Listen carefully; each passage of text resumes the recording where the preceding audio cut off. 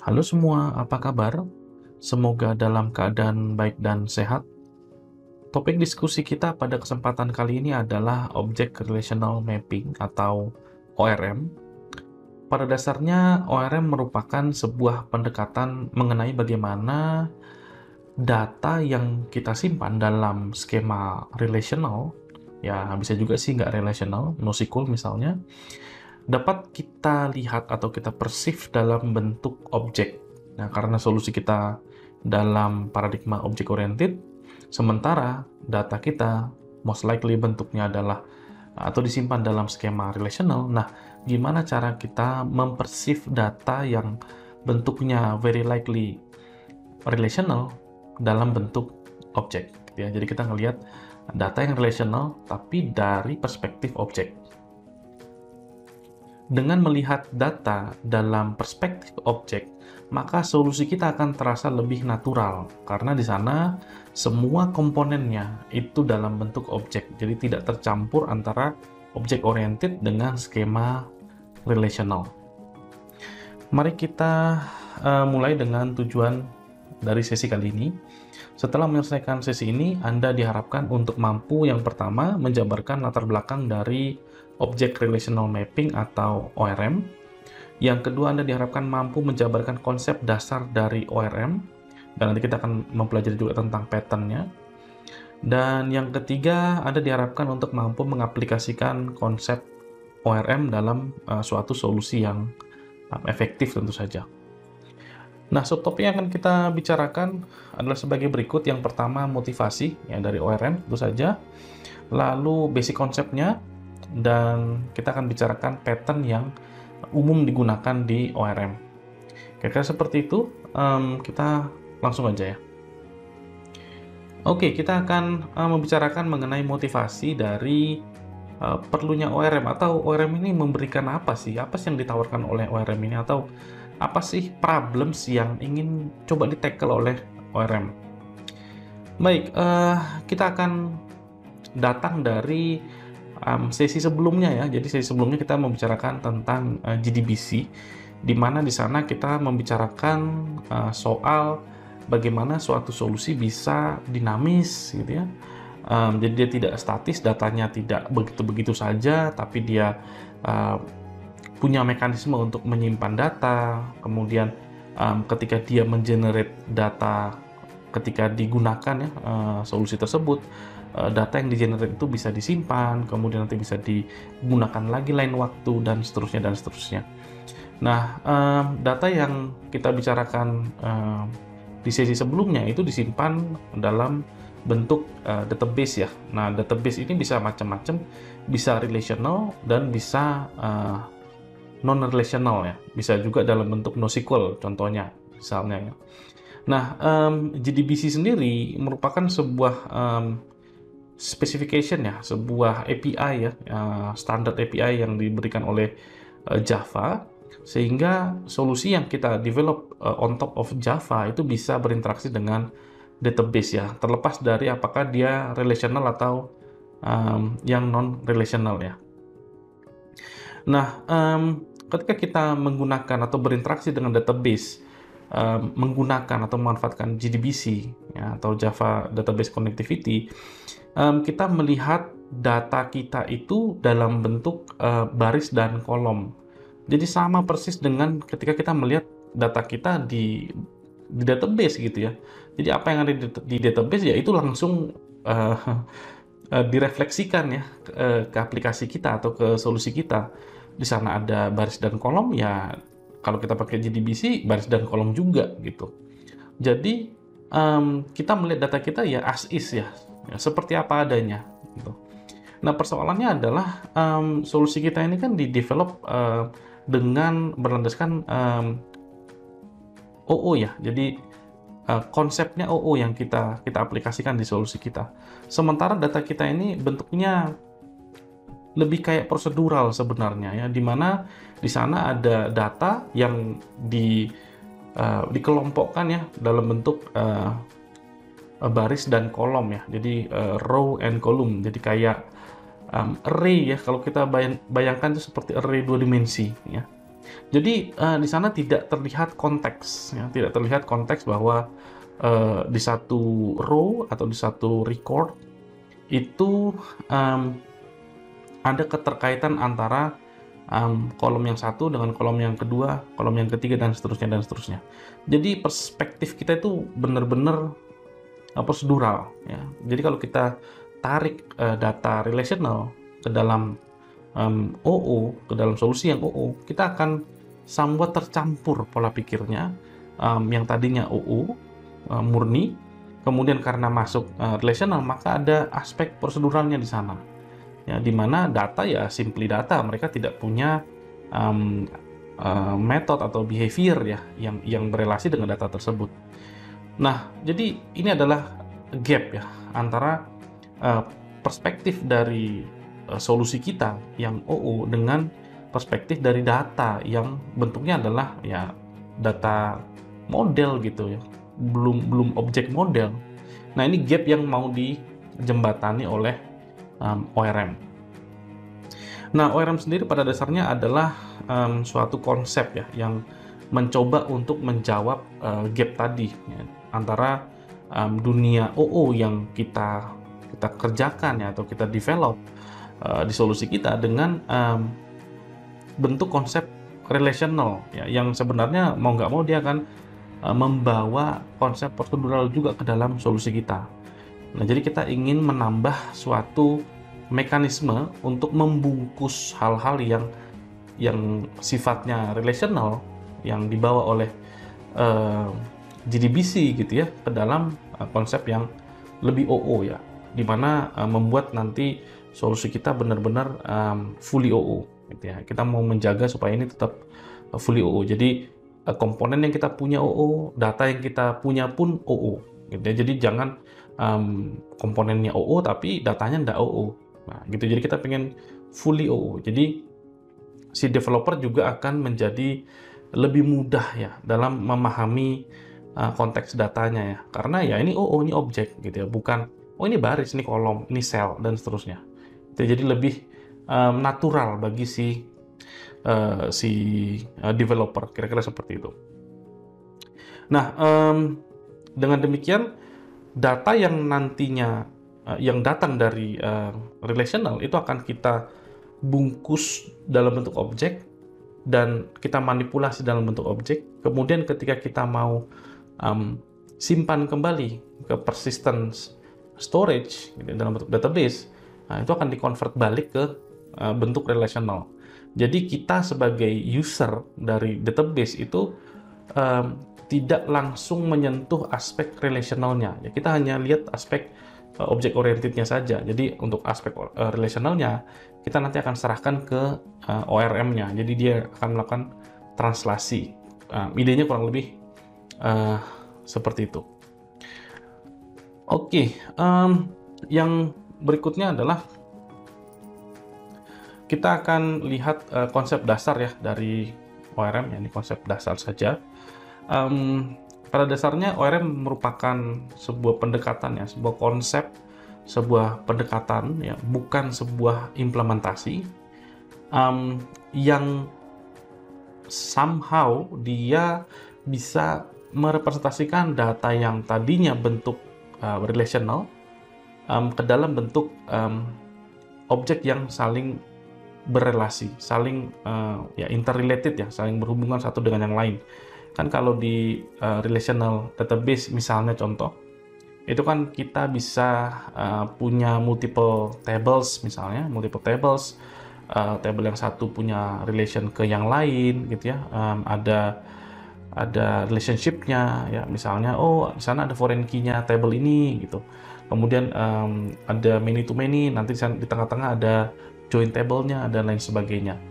Nah relationships yang ada di uh, relational uh, data model itu kita bawa ya ke dalam uh, OO. Jadi tabelnya nanti menjadi kelas, kemudian record menjadi uh, objek, kemudian uh, kolom atau uh, field ya yang ada di relational itu akan menjadi atribut di um, di OO.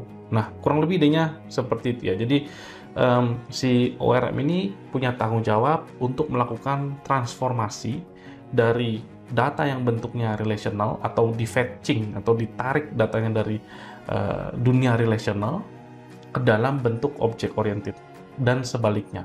Dari yang bentuknya objek ya ditransformasi balik menjadi um, data dalam bentuk uh, uh, atau yang kompatibel terhadap bentuk yang uh, relational ya. Meskipun NoSQL juga bisa ya. Jadi sini relational itu mewakili database kurang lebih begitu ya. Ya meskipun itu nggak nggak match uh, tepat ya. Oke okay, um, idenya seperti itu. Jadi ORM bukan implementation nah, lebih ke konsep ya. Nanti implementasinya bisa macam-macam. Nah di sini uh, kita lihat ya um, diagram di sebelah kanan ini ya. Di sini kalau kita perhatikan uh, layer architectural layernya ya di sini uh, mohon diperhatikan bahwa di bawah ya di bagian bawahnya ada database ya uh, baik yang relational misalnya NoSQL, MariaDB itu uh, termasuk yang relational dan ada sebuah uh, database yang NoSQL ya misalnya di sini diwakili oleh MongoDB dan lain-lainnya ini ini cuma contoh aja. Nah di sini uh, kita ingin berinteraksi dengan database yang ada di bawah ini ya. Nah meskipun dia posisinya di bawah bukan berarti ini ada ada di paling bawah, bukan ya. Ini bukan masalah posisi. Ini hanya untuk menggambarkan um, interaksi. Nah kemudian um, database itu akan sebenarnya kalau kita memanipulasi ya kita akan melalui operating system itu yang yang secara langsung ya berinteraksi dengan database-database uh, ini ya.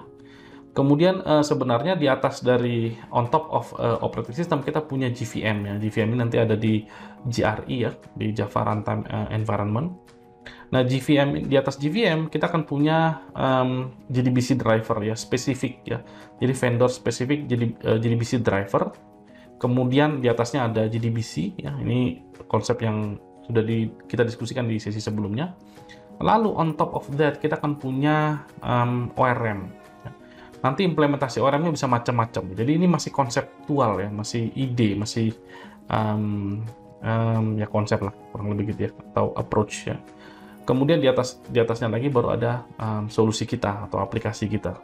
Jadi aplikasi kita mau berinteraksi ujungnya ke database um, melalui layer-layer berikutnya. Gitu. Jadi uh, data uh, aplikasi kita melihat data dalam bentuk objek, ya hasil dari translasi oleh uh, ORM gitu ya.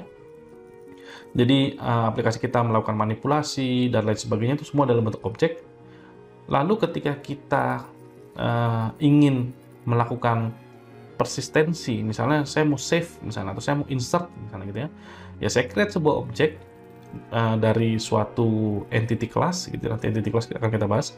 Kemudian um, saya akan minta ORM untuk nge-save. Tolong di-save ini saya udah create objeknya, tolong di-save ya ke persistent storage ya. Nanti oleh si ORM itu akan ditranslasi.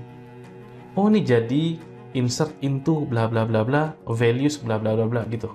Jadi diubah dulu diubah dulu jadi uh, apa namanya uh, bentuk yang relational ya. Jadi um, perintah kita untuk insert itu diubah menjadi bentuk yang relational.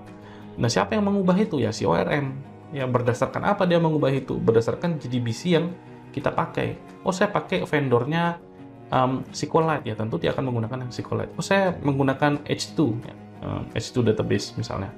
Uh, maka dia akan menggunakan uh, dialeknya, uh, drivernya si uh, H2 gitu ya. Terus sampai ke bawah nanti terinsert lah dia ke um, actual database-nya. Nah kurang lebih idenya seperti itu ya. Jadi ORM ini memberikan satu layer abstraksi tambahan uh, bagi aplikasi kita. Jadi instead of kita berinteraksi uh, melalui JDBC, kita berinteraksi justru malah melalui ORM. Kurang lebih idenya seperti itu. Berikutnya kita akan uh, mendiskusikan mengenai entity ya. Jadi ada yang disebut dengan entity atau entity class gitu.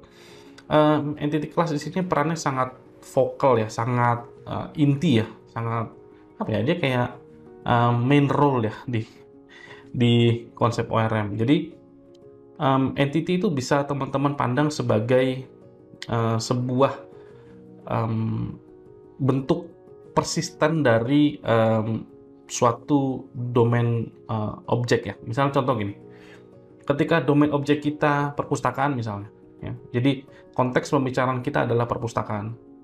Maka apa yang ada di perpustakaan itu kita bisa representasikan dalam bentuk objek ya. Misalnya contoh, buku itu adalah objek. Kemudian uh, misalnya buku pemrograman Java misalnya contoh nih saya ngawur ya. Atau uh, buku uh, operating system. Nah, itu uh, objek ya. Kemudian di perpus ada apa lagi? Oh, ada majalah. Misalnya majalahnya um, Tempo misalnya atau misalnya yang lain deh. Ya, itu contoh majalahnya. Jadi itu objek objek semua. Apalagi yang ada di sana? Oh di sana ada meja ada rak buku dan lain sebagainya. Maka dalam konteks uh, um, domain objek perpustakaan kita bisa melihat bahwa entitas yang ada di sana itu ada buku ada meja kursi rak mungkin ada komputer ada dan lain sebagainya koran mungkin dan lain sebagainya Nah, jadi eh, benda-benda tersebut kita akan lihat dalam bentuk entity.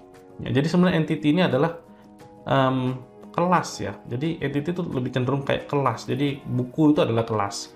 Tapi karena kita sedang membicarakan tentang data, maka kita tidak uh, kita tidak tidak hanya menyebutkan dia sebagai kelas, tapi kita sebut dengan entity kelas. Ya, jadi lebih lebih berasa datanya. Kalau teman-teman cuma bilang kelas buku, nah itu belum berasa datanya.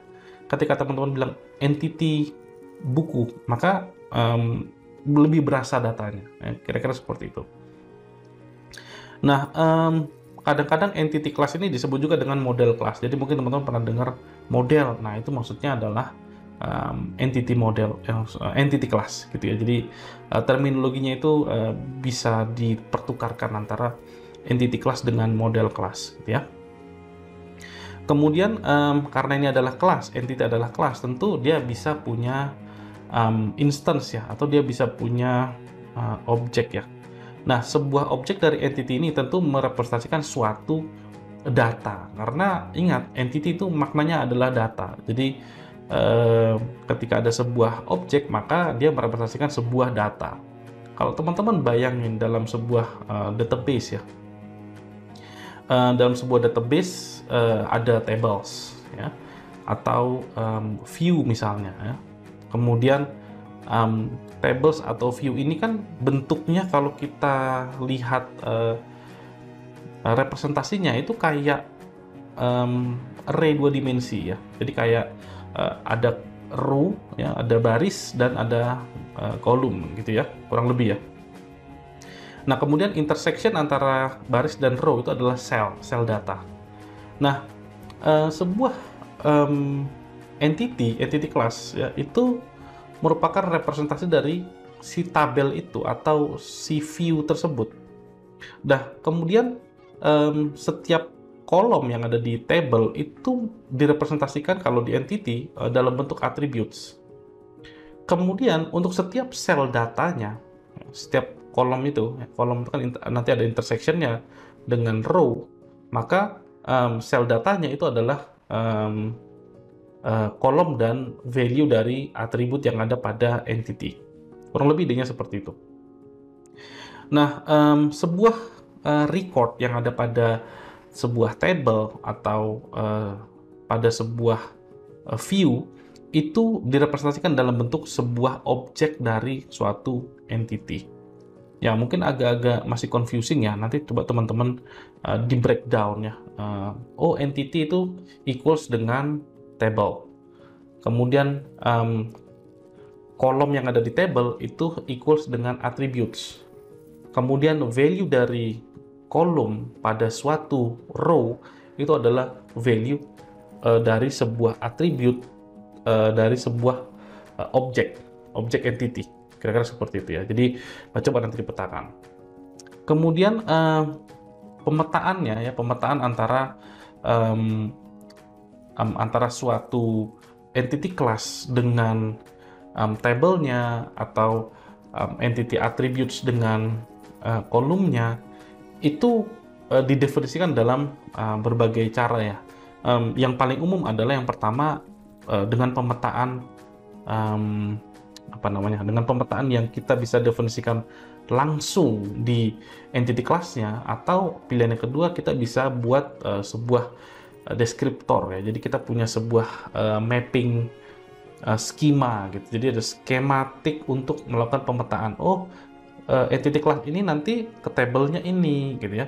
Atau kolom uh, attributes ini akan ke kolom itu gitu. Jadi pemetaan itu bisa uh, kita de uh, deskripsikan di baik di entity class-nya langsung um, atau di uh, separated uh, configuration. Kurang lebih ininya seperti itu. Nah, nanti kita akan lihat contohnya. Oke, okay, um, kita lihat contohnya. Ini uh, ilustrasi ya. Jadi um, kan ORM ini bermaksud untuk uh, sebagai jembatan ya, sebagai bridge ya, sebagai translator ya kurang lebih seperti itu um, antara dunia yang relational dengan um, dunia yang uh, OO kurang lebih begitu.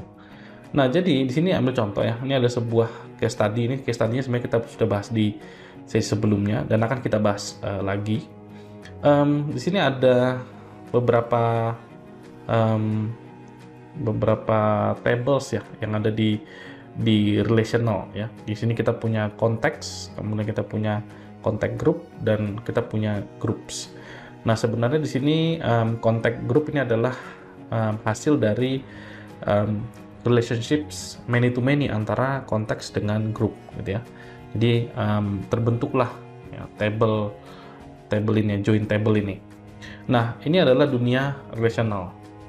Kemudian kita mau translasi ke dalam dunia UU. Nah Salah satu bentuk translasinya itu sebagai berikut ya. Kita punya dua buah classes.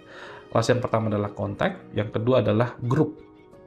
Nah, kemudian di sini um, ada relationship juga ya antara sebuah um, kelas dengan kelas yang lain gitu. Ada hubungannya. Apa hubungannya di sini? Kebetulan um, saya buat agregasi ya. Jadi um, sebuah kontak itu bisa kita petakan ke um, satu atau lebih grup ya uh, misalnya family, kemudian atau sobat, tahap apa gitu ya, uh, work atau ya terserah. Um, demikian juga dengan grup ya, uh, sebuah grup itu uh, dapat dipetakan ke um, beberapa kontak gitu ya. Uh, bahkan se sebuah grup bisa saja tidak memiliki kontak ya. Jadi grup itu mungkin masih baru di create gitu ya. Jadi dia belum punya belum punya kontak. Nah, jadi ini adalah contoh translasinya ya, translasi antara dunia relational menjadi OO. Ini contohnya saja. Dan ini vice versa ya, jadi eh, dari OO nanti ditranslasi balik ya ke ke relational ya, ke atas lagi ke dunia relational. Nah nanti pemetaannya bagaimana? Misalnya gini, eh, kan kalau di di relational di sana kontaks itu ada primary key-nya, namanya email. Nah sementara kalau di di gambar ini di uh, diagram di kelas diagram ini nggak kelihatan itu email itu adalah primary key. Nah kita nanti akan memberikan uh, mapping ya, memberikan deskripsi tambahan bahwa eh email ini nanti kalau di di apa namanya di relational ini primary key ya nanti ada ada caranya ya nah uh, definisi dari misalnya uh, email itu adalah um, primary key, kemudian name itu panjangnya maksimum let's say uh, 255 characters, itu uh, tidak boleh null dan lain sebagainya misalnya gitu ya. Nah, itu didefinisikan di mana? Nah, ada dua opsi nanti ya. Ada yang didefinisikan di dalam kelasnya sendiri, implementasi kelasnya atau dalam separate uh, configuration. Nanti kita akan bahas ya. Oke, kita akan lihat uh, patterns yang um, sering digunakan di ORM. Jadi uh, yang paling umum adalah dua patterns uh, yang paling sering dijumpai di ORM atau diimplementasikan uh, di ORM. Ingat ORM itu bukan implementasi uh, konsep. Jadi kalau kita implementasi tentu kita akan menggunakan suatu pattern. Ya, jadi pattern yang uh, sering digunakan uh, atau uh, ya paling very common ya digunakan adalah uh, data mapper data mapper uh, data mapper pattern dan active record pattern. Ini kedua pattern ini paling umum digunakan. Nah, kedua pattern ini tergolong architectural pattern ya. Jadi uh, di OO itu pattern tuh bisa ada banyak macam pattern, ada behavioral, ada nih architectural dan lain sebagainya. Nah, untuk uh, kedua pattern ini, data mapper dan active record ini tergolong architectural pattern. Ya. Nah, setiap pattern pasti punya um, advantage, uh, disadvantage. Ada aspek positifnya, ada aspek negatifnya. Nah, kita tidak akan bahas mengenai um, untung ruginya, advantage disadvantage dari masing-masing um, pattern ini ya. Itu uh, harusnya ada di mata kuliah yang lain selain yang ini, gitu ya. Jadi ini hanya uh, memberikan uh, pengetahuan umum ya terkait dengan data mapper dan uh, active record pattern. Nanti kalau teman-teman mau lebih dalam lagi ya silakan uh, mencari referensi berkaitan dengan uh, kedua uh, pattern tersebut ya. Oke, okay, um, kita akan bahas satu-satu uh, contoh bentuk implementasinya. Ingat kita tidak akan bahas uh, mendalam mengenai setiap pattern ini. Nah, untuk uh, pattern yang pertama, data mapper pattern ini hmm, let's say de facto-nya ini ya, ini adalah uh, kayak standar gitu ya. Jadi ketika kita ngomongin ORM, maka uh, perspektif di benak kita itu adalah uh, data mapper pattern yang digunakan. Um, meskipun ya tadi ya ada pattern yang lain yang bisa kita pakai, tapi begitu kita um, dengar ORM, maka kita akan langsung dekat dengan atau langsung berasa oh ini data mapper gitu ya. Meskipun nanti kita harus lihat lagi ya uh, sebenarnya ini pakai approach yang mana sih gitu. Nah, um, untuk data mapper uh, pattern, jadi teman-teman nanti akan punya um, apa namanya entity ya, entity class gitu ya. Um, ingat entity class itu um, merupakan 11 12 atau bentuk translasi dari table gitu ya.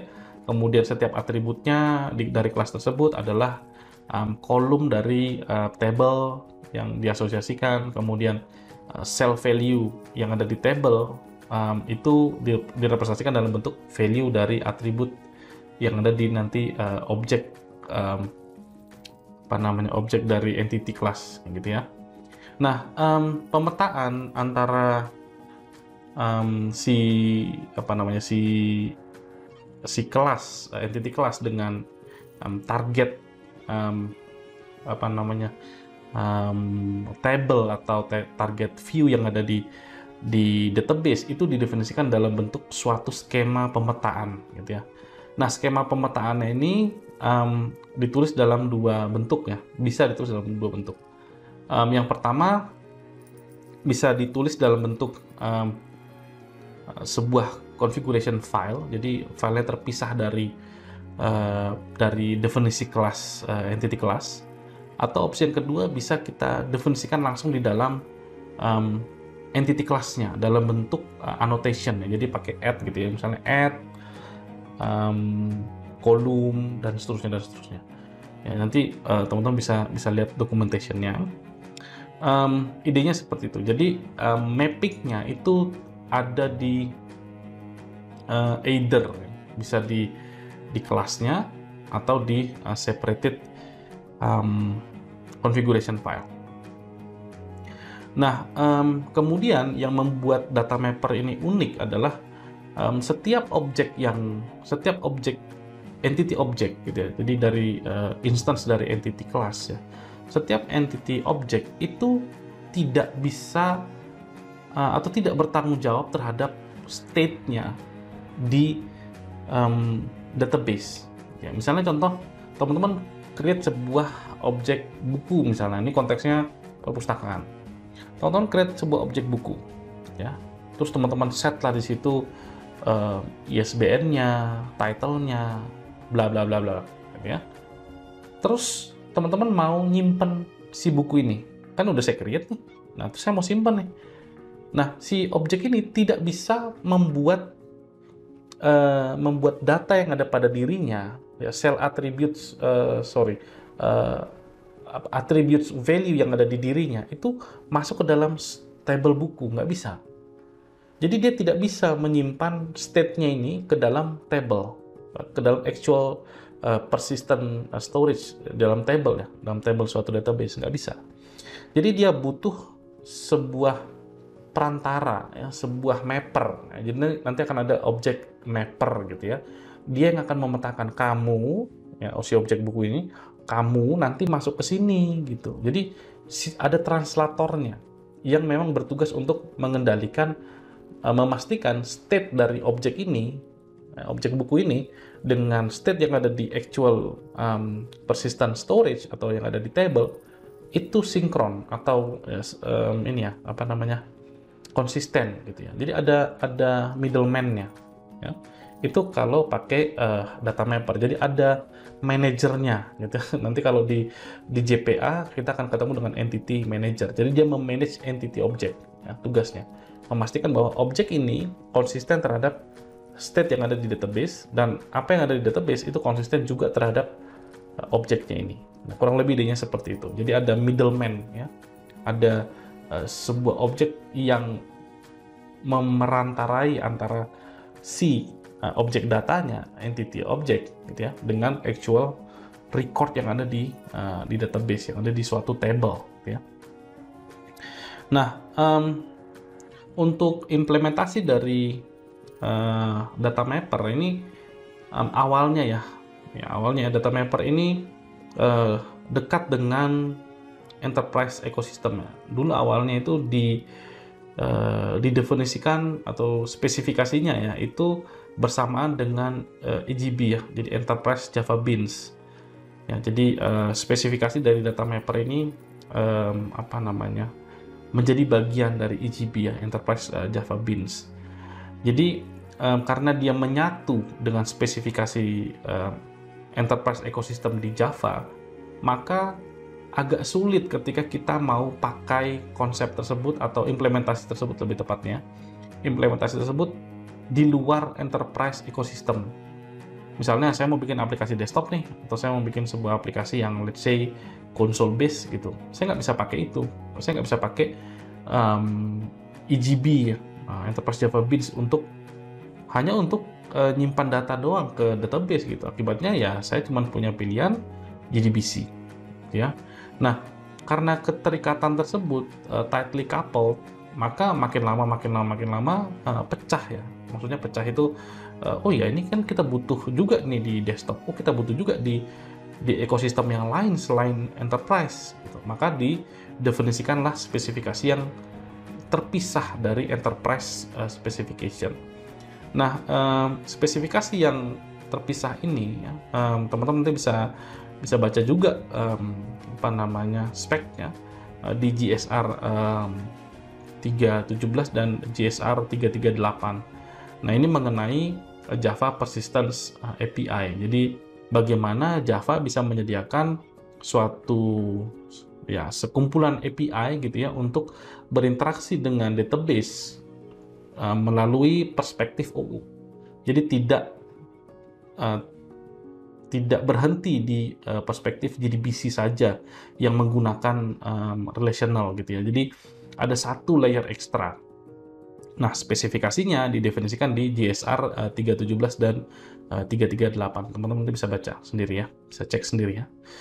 Um, nanti teman-teman juga bisa perhatikan bahwa dengan um, apa untuk menggunakan si um, GPA teman-teman akan menambah um, feature ya ke dalam um, apa namanya ke dalam environment teman-teman ya. Jadi um, ini kan tambahan modul ya. Jadi uh, ini di luar dari uh, GDK atau GRE yang default ada di di tempat teman-teman yang teman-teman install. Jadi ini adalah tambahan modules. Jadi kalau teman-teman install ini, teman-teman akan dapat um, extra package. Ya. Package yang teman-teman bisa akses adalah JavaX uh, Persistence. Jadi nanti di sana didefinisikan berbagai interfaces untuk uh, apa namanya untuk um, uh, JPA gitu ya, untuk menggunakan JPA.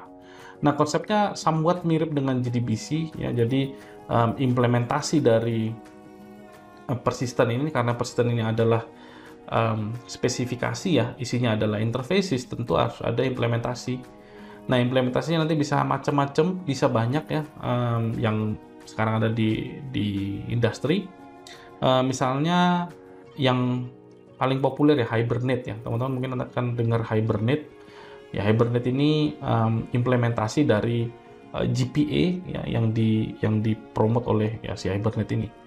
Kemudian ada Eclipse Link, jadi Eclipse juga uh, ngembangin ya. Jadi dulu Eclipse Link ini namanya adalah Toppling ya. Ini punyanya Oracle, tapi dihibahkan ke Eclipse dan Eclipse uh, meneruskan developmentnya. Jadi implementasinya bisa Hibernate, bisa Eclipse gitu ya, atau bisa OpenGPA ini juga juga bisa teman-teman pakai.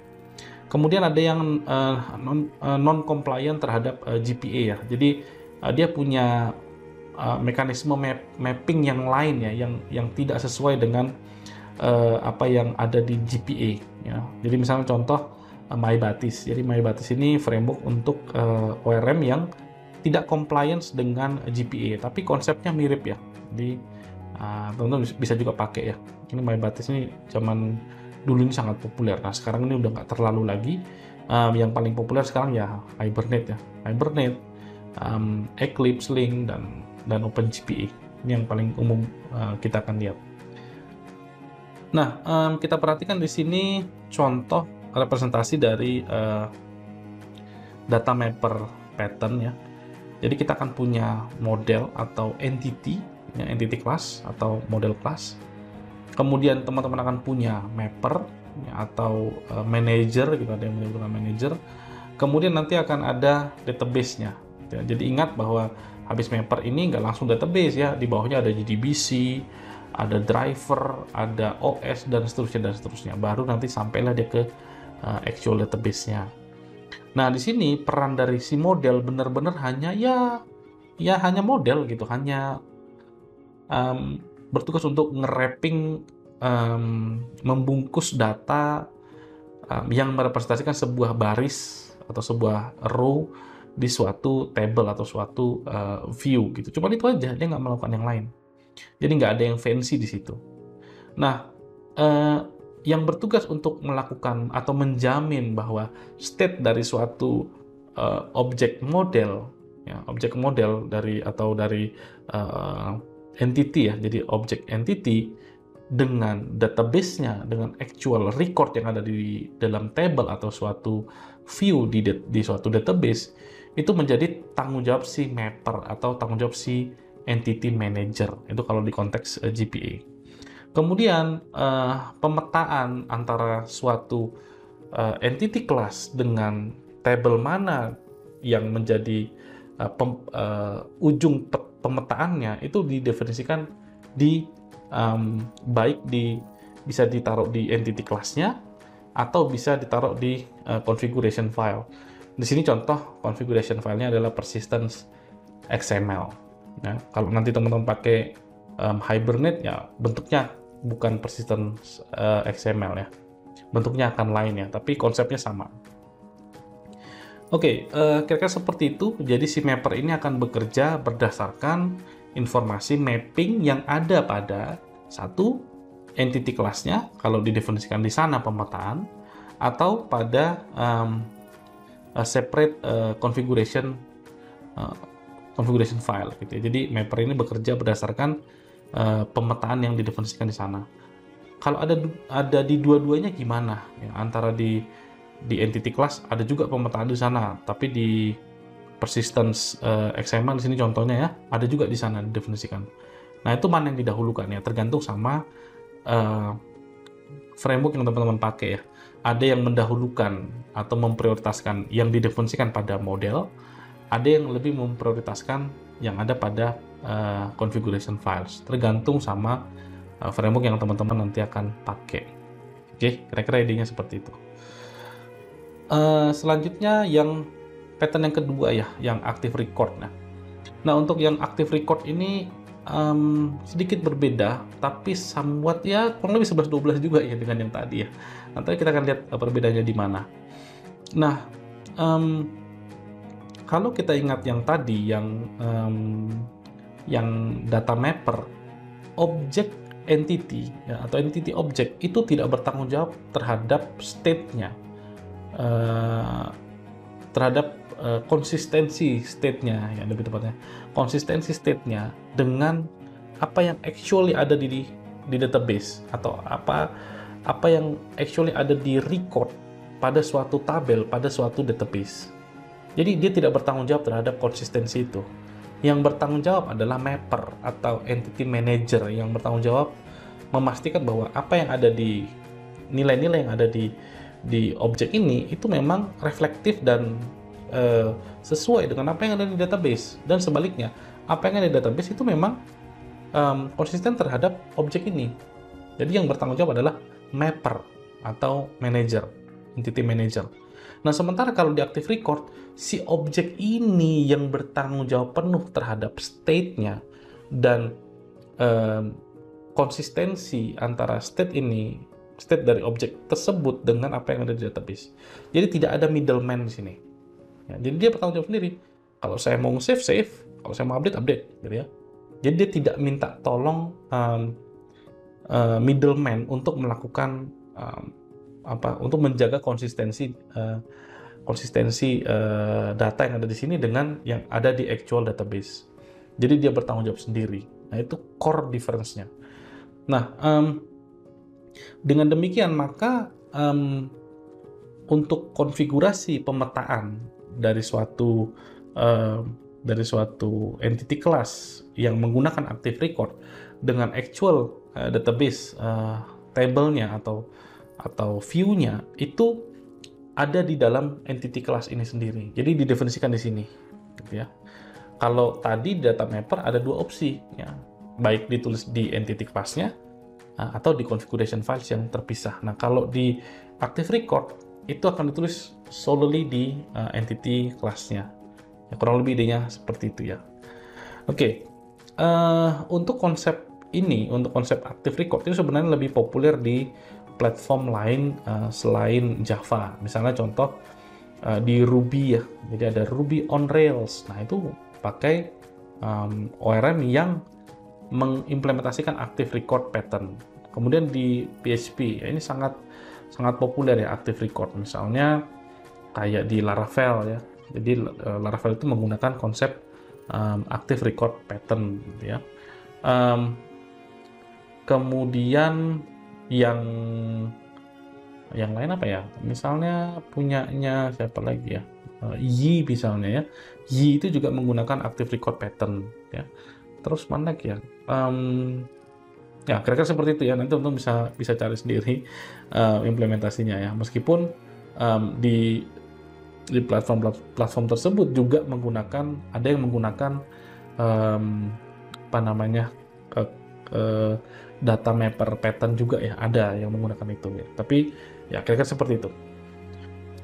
Nah um, tadi sudah kita bicarakan bahwa si objek entity objek itu bertanggung jawab penuh uh, terhadap datanya ya. Datanya dan konsistensi datanya terhadap uh, actual database atau uh, view-nya.